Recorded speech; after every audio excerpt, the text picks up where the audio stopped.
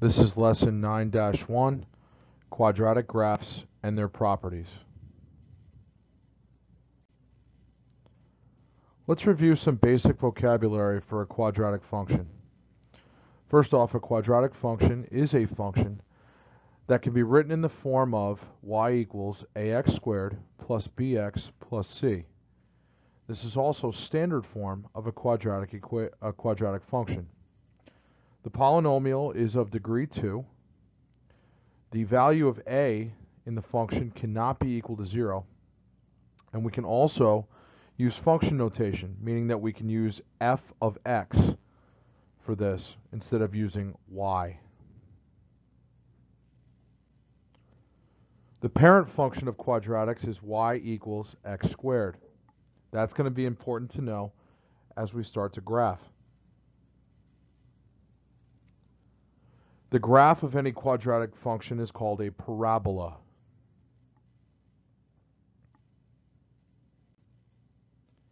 Here are some basics about parabolas. First of all, they are considered to be curves, not lines. The graphs of parabolas are either smile-shaped or frown-shaped. That's not U-shaped and N-shaped. It's smile-shaped and frown-shaped. The reason I do it that way is because if the value of a in the function is greater than 0, meaning it's positive, the parabola will be smile-shaped. Think about when you smile. It's when things are going positively. The parabola will be frown-shaped when the value of a is negative. When things are going negative for you, you're frowning. Parabolas are vertically symmetrical. That means I can draw a line down the middle vertically and I can cut the parabola directly in half and the sides would match each other exactly. There are three major parts to any parabola. The first is the axis of symmetry, and that's the line that divides the parabola exactly in half as we just spoke about with vertical symmetry. The vertex is the high point or the low point on the parabola. It can also be called the turning point. We determine if it's a high point or a low point depending on if the parabola is smile-shaped or frown-shaped. If you have a smile parabola, it's a low point. If you have a frowning parabola, it's a high point. Finally, zeros, or roots, are where the parabola intersects the x-axis if it intersects the x-axis at all.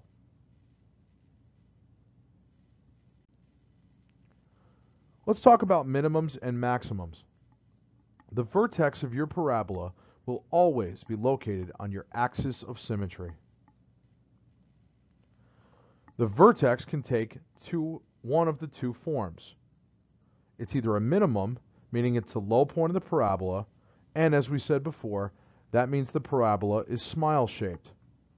If it's a maximum, the parabola is frown-shaped and it's the high point.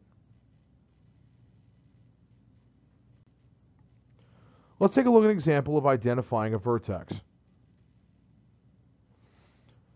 Look at each picture and identify the vertex. Then, identify if it's a minimum or a maximum. Pause the video at this point to give yourself a chance to do this on your own.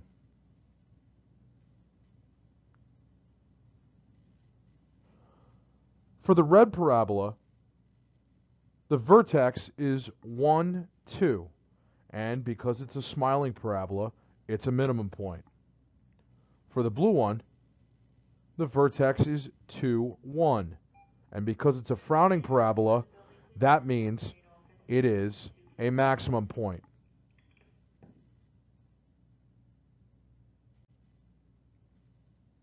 Let's talk about graphing parabolas in the form of y equals ax squared. The first thing you should do is make a table of values. Remember that you can choose your values for x, and you should choose values that make your y values easy to graph. Then graph your points. And then you should reflect your points over the y-axis. In this case, when you have y equals ax squared, the y-axis is the axis of symmetry. Connect the dots in a curve format. And identify your domain and range if necessary.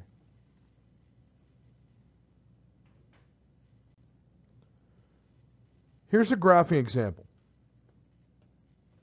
Pause the video at this point to give yourself a chance to do it on your own. I have shown you what a table should look like.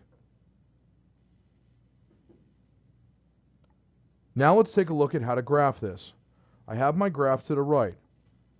I'm first going to plot the point 0, 0, right in the middle of my graph.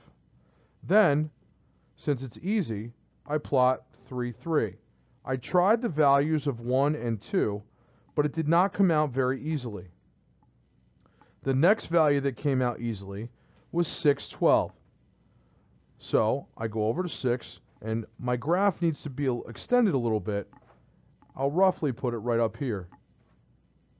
Now, the next thing to do is to reflect my points across the y-axis. Since 0, 0 is right on the y-axis, there's no need for reflection. Now I'll reflect the point 3, 3. I'm going to put that point in blue. When I reflect it across the y-axis, it's going to be negative 3, 3. When I reflect the point 6, 12 across the y-axis, it's going to be negative 6, 12. At this point then, I want to connect my dots in a curved fashion, like so. Remembering 0, 0 is my minimum point, and I'll turn and go back up. Since the graph is continuous, I do want to put arrowheads on both sides. And then, of course, I do want to label my graph.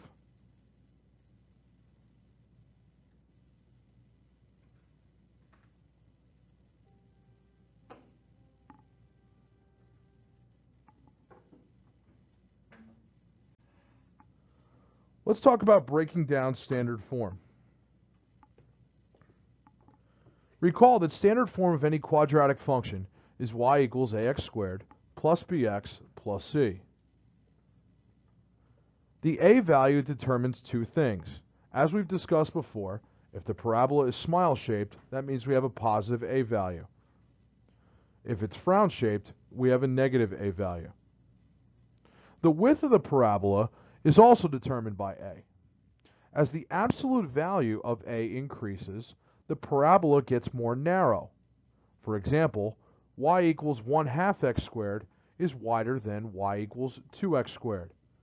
And y equals 2x squared would be wider than y equals 3x squared. The value of b is going to affect the positioning of your axis of symmetry, meaning it's going to move the parabola left, and right. The value of c affects your position of the vertex, meaning it will move your parabola up and down.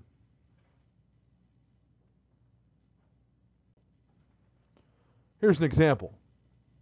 How is the graph of f of x equals 2x squared plus 3 different from the graph of f of x equals 2x squared? Pause the video at this point to see if you can come up with a description.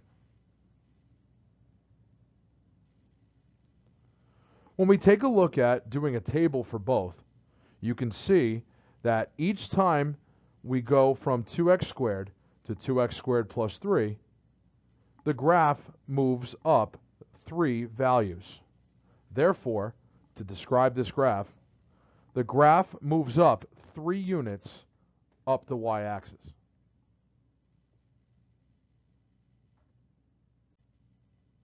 Let's take a look at a word problem example.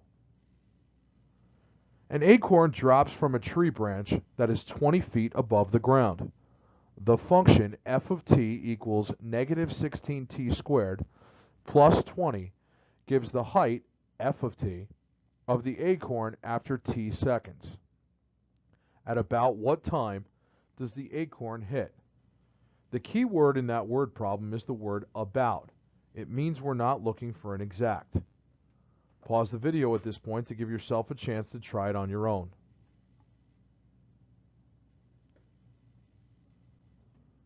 So maybe before you start, you should have thought about a reasonable domain. Thinking about the fact that my domain has to deal with time, it makes no sense whatsoever for me to have negative time. The reasonable domain then would be to start at zero. I'll go up by half a second each time to get a value. Here's my chart. When time equals zero, the acorn is 20 feet above the ground. At time equals a half, it's at 16 feet above the ground. When one second is reached, it's 4 feet above the ground. And when I get to 1.5 seconds, it has now gone down to negative 16 feet. Well, that would mean that it fell through the ground. So obviously at some point it hit zero feet, which means it hit the ground. Negative height in this case does not make any sense. Therefore, we can say the ground hits, we can see the acorn hits the ground at zero feet just after one second. If you're having any issues with this particular lesson, please make sure you consult your teacher in class.